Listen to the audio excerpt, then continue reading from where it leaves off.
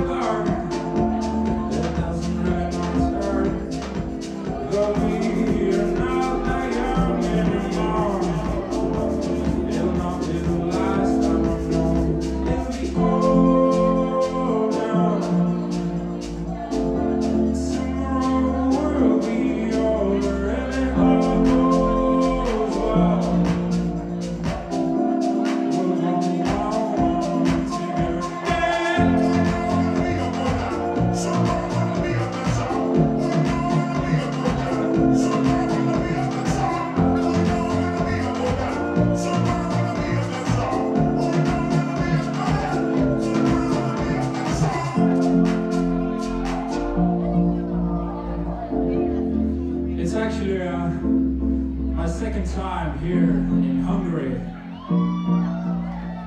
But first time in Budapest. So let's take the most out of it. Last time I was in this small city called Szeged.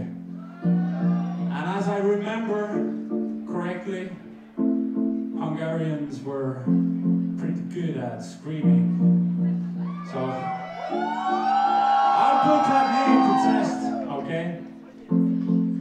There's a little thing you gotta do. And it goes like this. I know it's early, it's like it's not even nine o'clock, but it's it's never too early to scream a little bit. It goes like this.